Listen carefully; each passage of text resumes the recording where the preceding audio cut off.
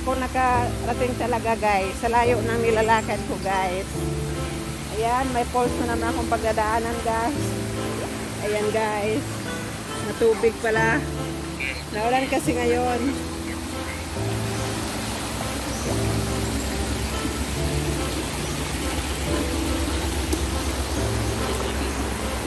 Ayan guys. Ito din pala akong pagdadaanan.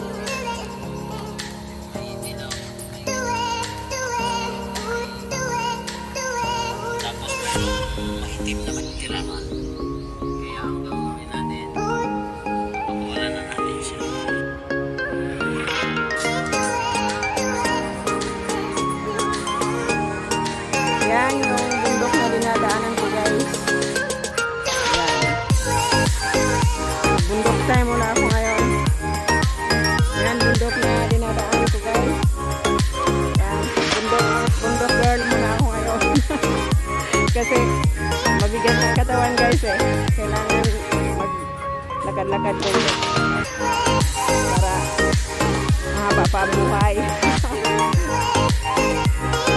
Alam nyo guys, pag nag-exercise ka lagi, nagkakabata daw yun. Unat nyo ugat natin eh. Diba guys? So, layo pa guys. From Fairview kasi ako guys eh.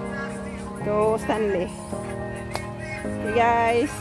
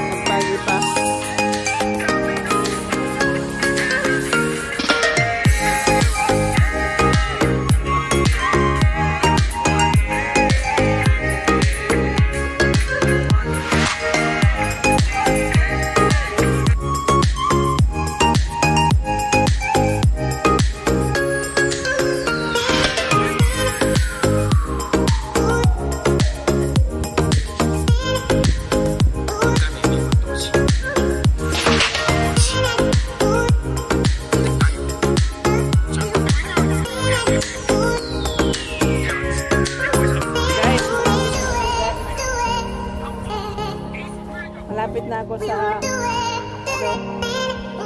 sa.